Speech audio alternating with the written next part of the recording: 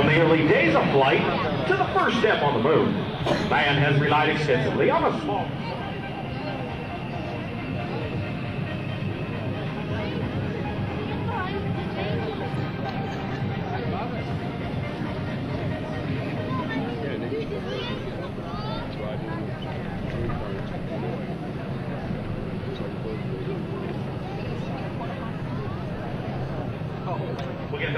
get the mics going here in just a second.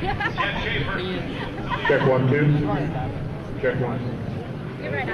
Now, from the early days of flight to the first step on the moon, man has relied extensively on a small deceleration device known as the parachute. Created initially to save a pilot's life as he jumped from his disabled aircraft, parachuting has evolved through modern aviation technology to become the sport of the space age.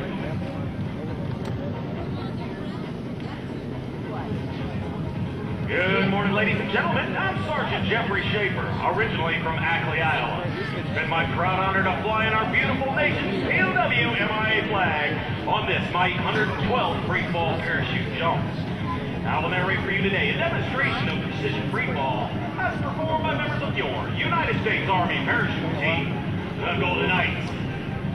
Right now, members of the Gold demonstration team are circling high overhead in our distinctly painted aircraft at an altitude of 10,000 feet. Right now, the jump master is actually looking out the left door of the aircraft. His head is outside in the wind and the cold. Through a series of hand signals, the jump master will relay heading corrections to the pilot, maneuvering the aircraft to a precise exit point for the jumpers. Also, ladies and gentlemen, you may notice right now there's a tandem parachute high overhead. The tandem program enables a non-jumper to be able to strap to a club jumper and have the experience of a perfectly good free fall without any prior training. Now, ladies and gentlemen, please direct your attention high overhead as our jumpers will give a thumbs up signal of stand by. Watch momentarily for jumpers. And the jumpers around and their smoke is on. We now have members of the Golden Knights rapidly approaching speeds of 120 miles per hour. These jumpers will call what we form a round formation. These jumpers fly to the base using their hands, arms, legs, and shoulders as flight controls to safely complete the formation, building one column of smoke. At 5,000 feet, the team leader will wave his arm, signaling all jumpers to perform our bomb burst maneuver. Watch for their parachutes. And there you have, ladies and gentlemen, the high flying black and gold of your United States Army parachute team, the Golden Knights.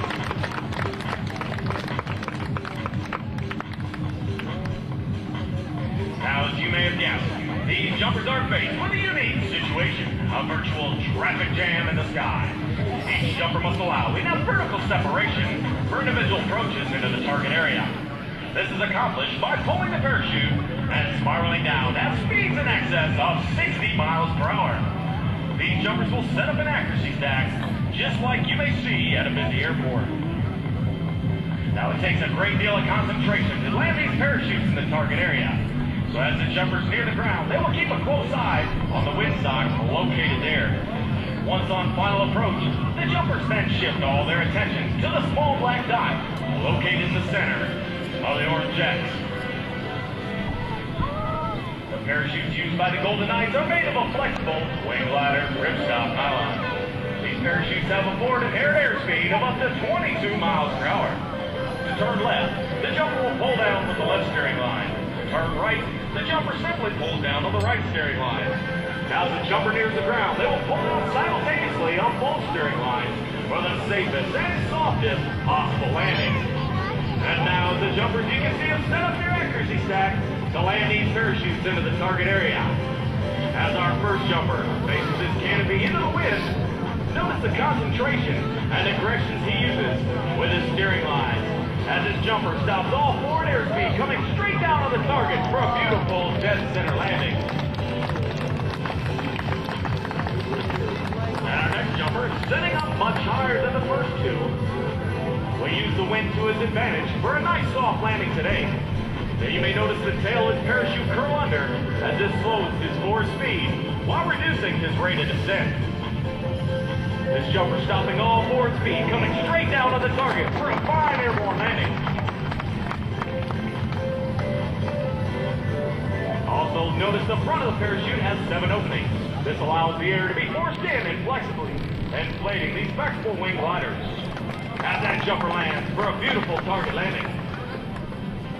Our next jumper keeping a small correction as he lands his parachute dead center of the target.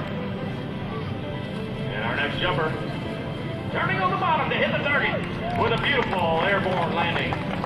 And our next jumper flies your beautiful Maryland state flag. We'd like to say thanks for allowing us to jump here. As this jumper brings it down for a beautiful target landing. And our final jumper, bringing his parachute into the target area, flying the smoke chain you saw much earlier. Jumper lands for a beautiful target landing.